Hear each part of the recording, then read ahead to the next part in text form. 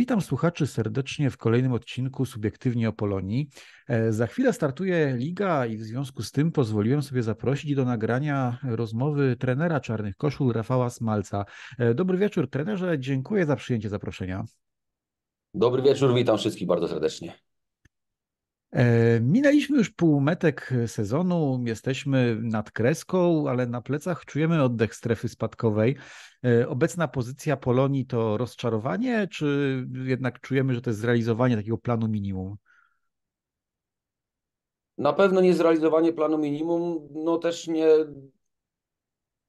nie wiem, czy nazwałbym to rozczarowaniem. Na pewno, na pewno jest duży niedosyt, bo uważam, że e, powinniśmy tych punktów zdobyć więcej niż, niż, niż mamy. Na pewno złożyło się na to wiele e, aspektów e, i czysto sportowych, albo przede wszystkim czysto sportowych, e, ale nie jest to wynik zadowalający. Zdecydowanie tych punktów jest za mało. E, tak patrząc z boku, można odnieść trochę wrażenie, że drużyna grała bardzo nierówno w czasie tego sezonu i często w końcówkach brakowało sił. Mam tu na myśli na przykład stracone punkty w Krakowie albo ten mecz z Tychami. E, czy te końcówki to wina przygotowania motorycznego drużyny, może wyższego poziomu rywali, a może zawodzi mental? Ja nie wiem, czy bym szedł w tą retorykę, że, y, że na przykład, nie wiem, przegraliśmy w Krakowie dlatego, że, y, że zabrakło sił. No, to jest y, stracona bramka, to jest składowa wielu, wielu aspektów. No, w Tychach też nie przegraliśmy dlatego, że nam zabrakło sił, bo w 93 minucie mieliśmy słupek, więc no to, że doszliśmy do pola karnego, stworzyliśmy sytuację, oddaliśmy strzał na bramkę, no to nie dlatego, że nie mieliśmy, nie mieliśmy sił, więc to jest takie, myślę, że no niestety bardzo mocno naciągane. W wielu przypadkach e, zawiodła skuteczność, nie ma co ukrywać, bo w meczu z, z Lechią na przykład w 90 minucie nie strzeliśmy rzutu karnego, więc, więc to też ma wpływ na to wszystko, co się dzieje później. E, I tak mówię, w wielu przypadkach zabrakło szczęścia, w kilku przypadkach na pewno y, gdzieś tam umiejętności były po stronie, e, po stronie przeciwnika. Pewnie nam zabrakło detali, konsekwencji, czy, y, czy może czasami jakiejś jakości e, w pewnych elementach. I tak mówię, no nie da się wszystkiego pociągnąć pod jedno, e, czy pod to, że drużyna była e, źle przygotowana. Traciliśmy, straciliśmy sporo bramek. Duża liczba z tych bramek to, to bramki, no nazwijmy to, albo powiedzmy kolokwialnie i odważnie, że głupio stracone na własne życzenie, wynikające ze strat własnych. I to myślę, że był nasz duży problem i, i, i tego musimy się wystrzegać, nad tym dużo pracowaliśmy e, i wierzę, to, że to ulegnie poprawie. A czy była rozważana w ogóle opcja zatrudnienia psychologa sportowego, czy, czy, czy ten uważa, że tej ekipie nie jest potrzebny taki, e, taki, e, taka osoba? Nie podejmowaliśmy takiej dyskusji, nawet takich, takich prób. Wiadomo, że coraz więcej takich osób pojawia się w sztabach w sztabach drużyn e, z różnego poziomu, no ale my takiej opcji nie, nie rozważaliśmy. E, wiosną lepiej grało nam się na pewno na wyjazdach niż u siebie. Czy jest to kwestia kalendarza i po prostu mocniejsi przeciwnicy zawitali na konwiktorską, czy jest tutaj jakaś inna przyczyna? To też jest temat, nad którym bardzo długo się zastanawialiśmy i, i no niestety nie znaleźliśmy jakiejś takiej jednoznacznej odpowiedzi, dlaczego tak, e, dlaczego tak było, bo zawsze e, stadion przy K6 był naszym takim, e, naszą taką twierdzą, gdzie, gdzie wygrywaliśmy sporo meczów i, i zawsze nam grało tutaj się dobrze. No, w rundzie jesiennej tego sezonu no, szła, szło, szła, szło nam, trzeba sobie uczciwie powiedzieć, fatalnie, bo, bo tylko jedno zwycięstwo w meczu domowym to jest y, zbyt mało, żeby, żeby zadowolić kogokolwiek, więc nie znaleźliśmy e, przyczyny, ale mm, mam nadzieję, że ta sytuacja, czy tak, taki y, stan odmieni się już od sobotniego spotkania y, z Arką Gdynia. Tak jak mówię, ja mocno wierzę, że, e, że wyciągnęliśmy odpowiednie wnioski i, i że będzie tylko lepiej. E, przed sezonem, znaczy, nie przed sezonem, przed tej, tej rundy rewanżowej e, nie poczyniliśmy jakichś takich spektakularnych wzmocnień, e, patrząc jak poczyni, poczyniły to ekipy naszych, naszych rywali. Czy pozyskaliśmy zawodników tych, których nam brakowało i teraz skład jest optymalny, czy może nie na wszystkie pozycje udało nam się pozyskać piłkarzy? Pozyskaliśmy zawodników na pozycje, na które chcieliśmy pozyskać i, i, i to jest dla nas najważniejsze. E, musimy mieć świadomość tego wszyscy, że okienko zimowe jest bardzo trudnym okienkiem, jeżeli chodzi o transfery, bo, bo rzadko kiedy zdarza się, że zawodnicy mają tak sformułowane kontrakty, że one kończą się w zimę. E, większość kontraktów kończy się z końcem sezonu i, i wtedy więcej można zrobić. Teraz tak naprawdę trzeba, e, nazwijmy to, łowić lub też mieć środki na to, żeby zawodników e, wykupić z, z ich poprzedniego klubu, więc no my mierzymy, mierzymy siłę na, na możliwości i, i, i działamy w ramach naszego budżetu. E, porozmawiajmy może o tych naszych wzmocnieniach. E, jak nowi piłkarze wkomponowali się w drużynę? W mojej ocenie bardzo dobrze, bo po pierwsze zostali świetnie przyjęci przez, przez resztę zespołu i gdzieś pokazują swoją taką dyspozycją, e, nazwijmy to treningową czy okołoszatniową, że, e, że jest chemia między nimi a zespołem i, i, i działa to w dobrym kierunku. Ja jestem mm, zbudowany tym, jak funkcjonuje, jak funkcjonuje drużyna i, i nowi zawodnicy. Myślę, że bardzo sprawnie komponowali się w szeregi. E, czy któryś z zawodników e, przebił się już do pierwszego składu? No, zobaczymy go od pierwszego gwizdka na konwiktorskiej z Arką? No myślę, że na to pytanie odpowiemy sobie w okolicach godziny 17. E, ten proces rywalizacji czy ustalania tego pierwszego, powiedzmy pierwszej jedenastki na, na mecz z Arką jest y, na ukończeniu, ale jeszcze mamy kilka treningów i i gdzieś cały czas obserwujemy zawodników, patrzymy jak reagują, jak, jak, jak to zmęczenie okresem przygotowawczym z nich schodzi, jak, jak reagują na gdzieś tam ten stres, który wiadomo będzie się w jakiś sposób na pewno e, przedmeczowy pojawiał e, i podejmiemy decyzję. Myślę, że pewnie bliżej piątku już jako sztab siądziemy i, i będziemy chcieli już wiedzieć, kto w sobotę w naszym odczuciu będzie tym, kto, co, który rozpocznie mecz, więc no myślę, że te najważniejsze decyzje jeszcze, jeszcze przed nami, ale e, już powoli w głowie coś się kiełkuje. E, na pewno po zakończeniu tej jesieni robiliście podsumowanie, analizę błędów, jakie były popełniane jesienią. E, zostały zidentyfikowane wszystkie i wyeliminowane? Wierzymy w to bardzo mocno. Analiza była bardzo szczegółowa razem ze sztabem spędziliśmy wiele godzin nad tym, żeby przeanalizować, co z czego wynikało, co możemy poprawić, co musimy poprawić, e, jak chcemy, żeby drużyna funkcjonowała w rundzie wiosennej. Więc ja mocno wierzę w to, że wykonaliśmy odpowiednią, dobrą pracę i, i przełożymy to w odpowiedni sposób na, na działania zespołowe. Drużyna będzie wiedziała, jak się do tego odnieść, albo inaczej wie, jak się do tego odnieść na, na boisku. I tak jak mówię, no, jestem optymistycznie nastawiony e, i wierzę w to, że ta runda będzie dla nas zdecydowanie lepsza niż, niż jesienna.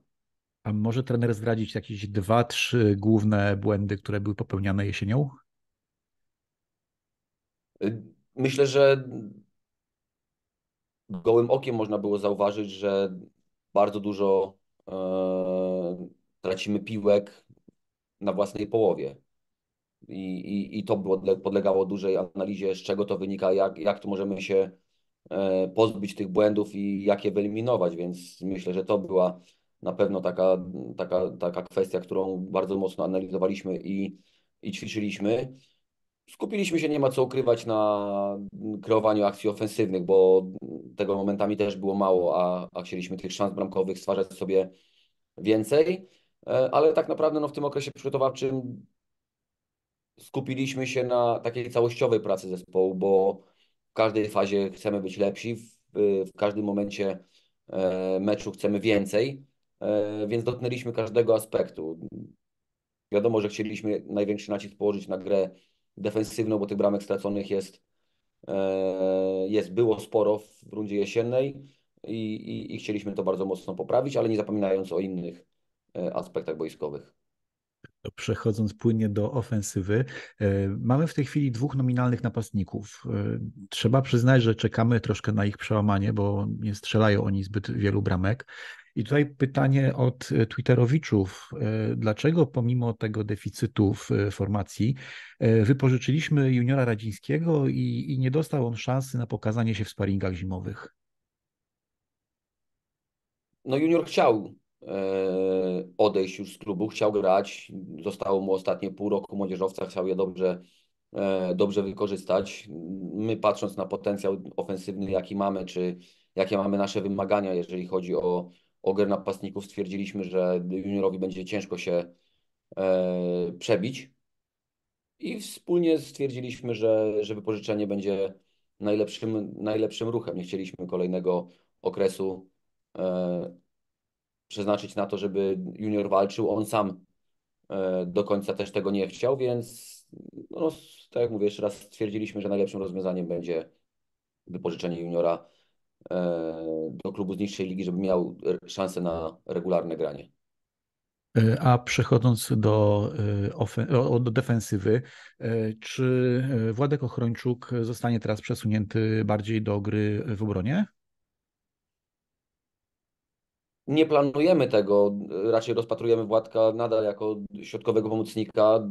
Gdzieś ta jego pozycja w okresie przygotowawczym na środku e, obrony wynikała e, i trochę z tego, że mieliśmy deficyt na tej pozycji, bo nie, nie udało nam się pozyskać e, zawodnika do środka, do środka obrony, a, a takim mieliśmy i mamy powiedzmy cel. Dodatkowo też wiedzieliśmy, że Władek w pierwszym meczu ligowym nie zagra ze względu na, na pauzę za żółte kartki, więc, więc nie chcieliśmy też w każdym meczu czy, mm, czy jakoś na siłę go wpychać do, do środka. On zna zadania, wie jak tam funkcjonować. W ostatnim meczu teraz motorem Rubin grał już jedną połowę swoją normalnie e, w środku, w środku pola na swojej nominalnej pozycji, więc raczej, raczej środek pola to będzie e, miejsce dla niego w tej rundzie. Szukamy jeszcze obrońcy, czy, czy już raczej e, nie uda nam się pozyskać jeszcze jednego zawodnika przed, przed meczem z Arką? Przed meczem z Arką pewnie może być ciężko, bo, bo to już zostały trzy dni do tego spotkania, ale okienko jest nadal otwarte. Wierzę, że, e, że jeszcze uda nam się dokonać transferu. E, wiem, że pewnie liczy się tylko kolejny mecz i, i, dacie na pewno z siebie wszystko, aby te punkty trzy e, zostały przy konwiktorskiej, ale pewnie z tyłu głowy jest jakaś magiczna liczba punktów, która e, powinna dać nam utrzymanie. Czy jaka to jest według trenera liczba? Ja myślę, że trzeba się zbliżyć do, do granicy 40 punktów, żeby, żeby myśleć o spokojnym utrzymaniu. E, przejdźmy teraz do e, wyników e, zimowych sparingów, które patrząc tak z boku nie napawają optymizmem. Kibice, z którymi rozmawiałem, są troszkę zaniepokojeni tymi wynikami. Wiadomo, że sparingi są po to, aby przećwiczyć pewne ustawienia techniczne, rozwiązania, etc. Czy trenerowi sparingi z tej przerwy zimowej dały odpowiedzi na jakieś pytania? Możemy spodziewać jakichś nowych ustawień lub zmiany w wyjściowej jedenastce względem jesieni? Wszystkich szczegółów nie będę zdradzał, czy zmiany ustawień, czy, czy, mhm. czy zmiany zmian personalnych, bo, e, bo nie będziemy nikomu ułatwiali, e, ułatwiali pracy. Mhm. Więc chcemy też mieć aspekty, które, którymi będziemy chcieli przeciwników, e, czy najbliższego przeciwnika zaskoczyć.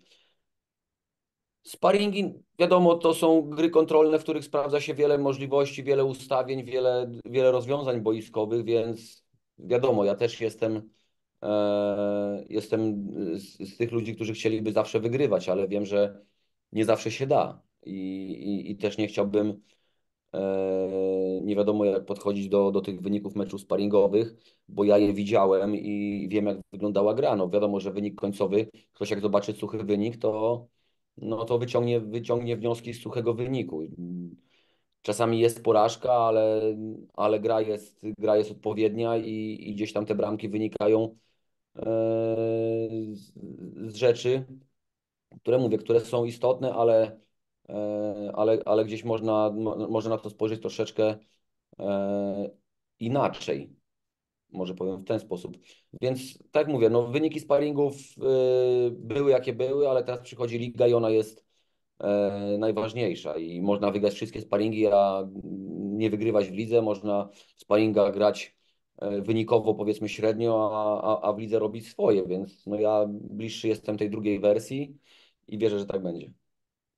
E, wśród kibiców e, można e, słyszeć też pewne uwagi, jeśli chodzi o dawanie szansy rezerwowym.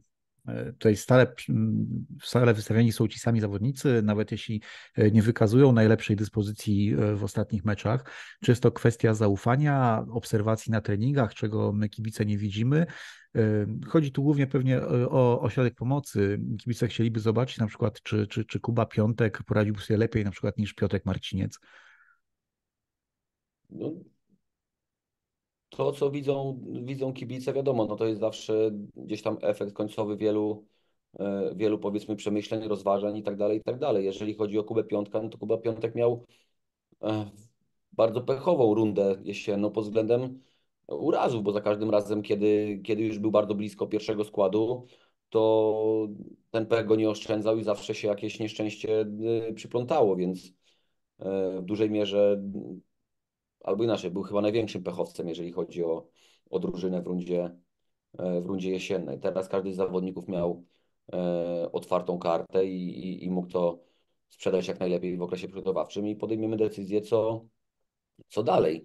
No, ja mam nadzieję, że każdy ma e, świadomość tego, że my jako trenerzy, czy ja jako mm, osoba główna odpowiadająca za, za wyniki zespołu, nie mamy zamiaru działać na, na, nie wiem, na krzywdę zespołu, że wystawiamy zawodników, którzy, nie wiem, którzy są w niedyspozycji albo słabsi, albo kogoś się lubi, albo kogoś się nie lubi. I e, to tak nie może funkcjonować. My zawsze staramy się, albo zawsze działamy pod takim kątem, żeby wystawić w naszym odczuciu zawodnika najlepszego na dany moment, albo który w naszym odczuciu w danym momencie meczu może dać drużynie najwięcej. Czasami się mylimy, czasami mamy z tego korzyść. No, tak to wygląda I, i, i nigdy nie będziemy działali tak, żeby kogoś wystawić, dlatego że, nie wiem, mamy większe zaufanie albo mniejsze zaufanie. Jeżeli ktoś jest w dobrej dyspozycji i będzie ją pokazywał na treningach, no to my na niego postawimy w krótszym czy w dłuższym wymiarze czasowym, ale postawimy, ale to, to mówię, to musi się na to złożyć wiele, E, wiele aspektów. E, I tutaj pojawia się kolejne pytanie e, o Łukasza Piątka z kolei. Zakończył Łukasz karierę. W pierwszej lidze nie dostawał szansy na pokazanie swoich umiejętności, doświadczenia. Co było tego powodem? No my na początku już sezonu ustaliliśmy pewne, pewną strategię, jeżeli chodzi o funkcjonowanie klubu czy, czy, czy, czy drużyny.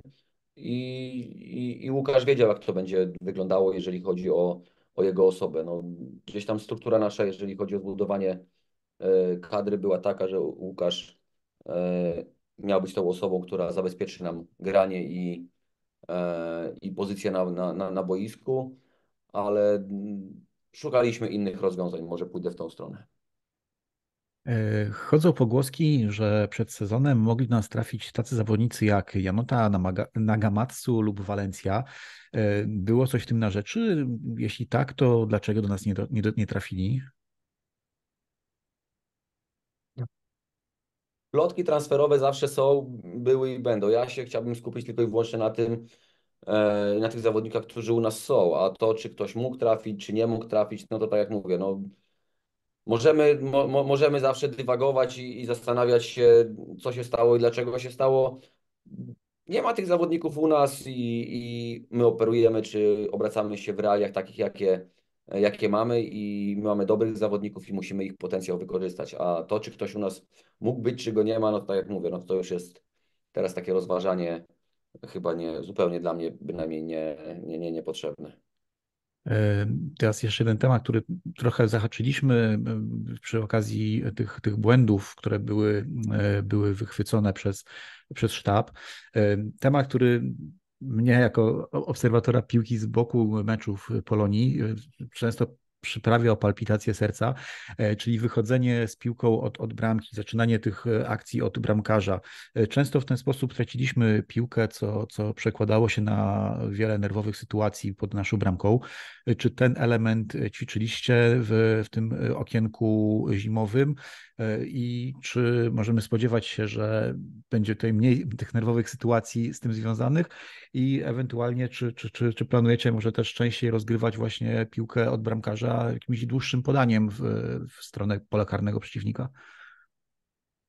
No, tak jak zaznaczyłem wcześniej, to wiemy o tym, że traciliśmy dużo piłek na, na, na, własnym, e, na własnej połowie i, i szukaliśmy rozwiązania, dlaczego tak się e, działo. No, na pewno nie, nie powiem tak, że nie będziemy otwierali od bramki, bo na tym polega gra w piłkę nożną, żeby w tą piłkę nożną grać. E, zawsze można piłkę przebić na połowę przeciwnika, czy nawet po otwarciu krótkim, czy, czy po otwarciu długim podaniem, więc to jest kwestia na wybranie odpowiedniego momentu i odpowiedniego e, rozwiązania, więc na pewno będziemy stosowali wszystkie, wszystkie te warianty, ale wierzę w to, że zdecydowanie lepszym skutkiem niż było to e, w pierwszej rundzie. Był to aspekt, który wymagał poprawy wielu działań i, i tak jak mówię, patrząc na to, jak drużyna funkcjonuje na, na treningach czy, czy w grach kontrolnych, E, na pewno wygląda to zdecydowanie lepiej. E, w grudniu prezes NITO w komentarzach w mediach społecznościowych, bodajże na profilu pierwszej ligi, e, skomentował jeden post, że walczymy o baraże. Czy to było w formie żartu, czy rzeczywiście jest taki cel przed nami postawiony? No myślę, że to skoro napisał to prezes, to trzeba zapytać prezesa. No ja za jego, za jego powiedzmy słowa ciężko mi się wypowiadać. My walczymy o jak najlepszy wynik E, dla drużyny i, i, i dla klubu. Jaki to będzie wynik? E, dowiemy się dopiero, dopiero w czerwcu i tutaj ciężko jest prognozować, ile my zdobędziemy punktów, jak zdobędziemy. Celujemy w jak najwięcej. E, jesteśmy ambitnymi ludźmi, sportowcami i, i naszym celem musi być dążenie w każdym spotkaniu do, do zwycięstwa. A gdzie nas to doprowadzi, tak jak mówię, zobaczymy bliżej końca ligi. E, do tej pory, zarówno w trzeciej, jak i w drugiej lidze, dużo lepiej zawsze wyglądała ta wiosna w wykonaniu Polonii pod pana e, wodzą. E, to było też spowodowane wzmocnieniami, zmianami w taktyce, wyciąganiem wniosków, czy po prostu tak się ułożyły nam te dwa sezony poprzednie. Pytam w kontekście tego, czy, czy, czy możemy się spodziewać, że właśnie wiosna w tym sezonie również będzie należała do Polonii? Okres przygotowawczy zimowy jest zawsze tym okresem, E, takim lepszym do tego, żeby popracować nad, y, nad większością aspektów, bo lato jest zawsze krótkie i, i w lato przeważnie dochodzi do, do większych zmian w zespole i my przez praktycznie dwa okienka y, letnie zmienialiśmy sporo w drużynie i, i ja nie chciałbym się tutaj absolutnie w żaden sposób usprawiedliwiać, bo nie o to chodzi, ale rozmawiamy o tym, o procesie rozmawiamy i i czy po awansie do drugiej ligi, czy po awansie do, do, do pierwszej ligi, tych zmian w drużynie było sporo i tych zawodników trzeba wkomponować. Gdzieś tego poziomu sportowego też trzeba się na swój sposób e, nauczyć, zobaczyć jak to wygląda i, i, i dostosować swoje, e, swoje granie do tego, więc wierzę w to, że ten okres zimowy przepracowany e, bardzo dobrze przez zespół przyniesie wymierne efekty, więc dla mnie to jest takie oczekiwanie na ten pierwszy mecz, na te pierwsze spotkania i, i, i zobaczenie, jak drużyna, jak drużyna zareaguje, jak drużyna będzie się czuła e, po tych aspektach, które zmienialiśmy, poprawialiśmy, jak będziemy to potrafili przenieść na, na boisko. To jest zawsze niewiadoma, bo dochodzi, tak jak mówię, dochodzi e, i stres, i dochodzi kibic, nie ma co ukrywać, że wymagający kibic, oczekiwania i to wszystko zbiera się e, na to, co pokaże się na boisku, jak się te wszystkie aspekty dookoła siebie e, będzie potrafiło wytłumić, żeby skupić się tylko na, na esencji, czyli na, na boisku. Bardzo jestem ciekaw i z niecierpliwością już czekam na ten pierwszy mecz. E, my również. E, kolejne pytanie odnośnie stanu zdrowia naszych, naszych piłkarzy. Czy, czy poza Mateuszem Kuchtą wszyscy są w tej chwili w pełni, w pełni zdrowi i, i do dyspozycji trenera? z tego się bardzo cieszę, że tak właśnie jest, że wszyscy zawodnicy są są zdrowi, głodni gry i, i, i ciężko pracujący na, na treningach. Na chwilę obecną jest to rzecz, z której możemy, możemy być zadowoleni. Wszyscy są zdrowi. E, Mateusz również pojechał z wami do, do Turcji na zgrupowanie. Czy to oznacza, że niebawem możemy się spodziewać powrotu między słupki? Jeszcze chwilę to potrwa, ale chcieliśmy, żeby, e, żeby Mati był z drużyną, żeby, żeby gdzieś wdrażać go e, i do pomocy trenerowi Kruszewskiemu i, i do tego, żeby cały czas, mówiąc kolokwialnie, był, był pod prądem. Jeszcze chwilę to potrwa, ale wierzę, że z tygodnia na tydzień powrót będzie coraz, e, coraz taki klarowniejszy. E, czeka nas mocne rozpoczęcie e, tego, tej rundy rewanżowej od razu z liderem, z Arką. Pierwszy mecz w Gdyni wygraliśmy. Kibice na pewno liczą na powtórzenie wyniku. Jakie Arka ma mocne strony, a, a gdzie, możemy, gdzie możemy szukać naszych szans w, w tym meczu? No i tu jest też takie pytanie bardzo otwarte i pozwolę sobie na nie nie odpowiedzieć, ze względu na to, że no nie, nie, nie, nie powiem na forum, o jakich rzeczach wiemy, o jakich rzeczach nie wiemy, tak? Bo, bo, bo e, szpiedzy czają się wszędzie i, i, i Arka usłyszy, co my o nich wiemy, albo jak jesteśmy na nich przygotowani, więc proszę mnie zrozumieć, ale mhm. wiemy o przeciwniku sporo, postaramy się znaleźć E, i słabe strony, wyeliminować mocne i, i sprzedać jak najbardziej swoje atuty, więc no wierzę w to, że, że to będzie dobry, ciekawy mecz i, i przede wszystkim dla nas zwycięski. E, ostatni wątek, który chciałem dzisiaj poruszyć, e, wątek troszkę pozasportowy. Jak pan ocenia postawę kibiców naszych przeciwników, którzy bojkotują w tej chwili przyjeżdżanie na konwiktorską, co ma być w cudzysłowie karą za wizytę kibiców Polonii na stadionie w Krakowie? E, w sobotę na przykład nie zobaczymy w sektorze gości kibiców Arki z tego powodu.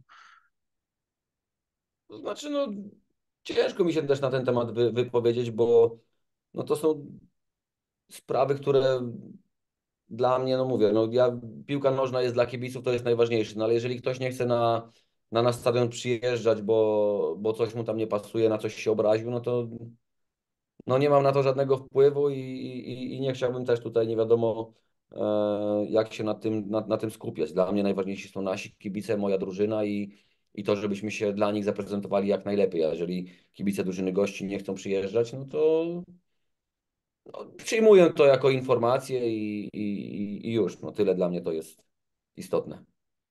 Na zakończenie naszej rozmowy chciałbym na pewno życzyć e, samych zwycięstw w Polonii e, i walki o baraże, o których wspominał prezes Nito, ale przede wszystkim spokojnego utrzymania na kilka kolejek przed zakończeniem.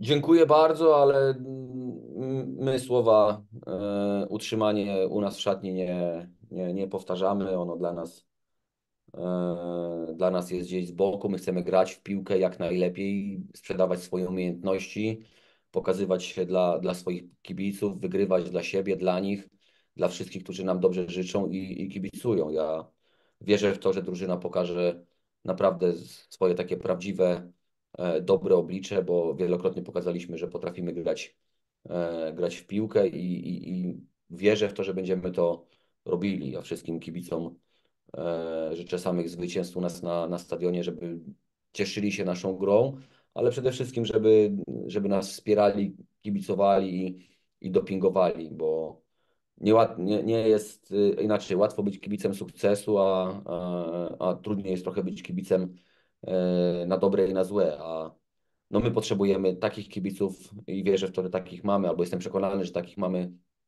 którzy będą za nas trzymali kciuki od samego początku do, do samego końca, bo potrzebujemy wsparcia 12 zawodnika, a, a, a kibice Polonii zawsze takim dla nas byli. Dziękuję za dzisiejszą rozmowę. Słuchaczom dziękuję za uwagę i do usłyszenia w kolejnych odcinkach. Cześć.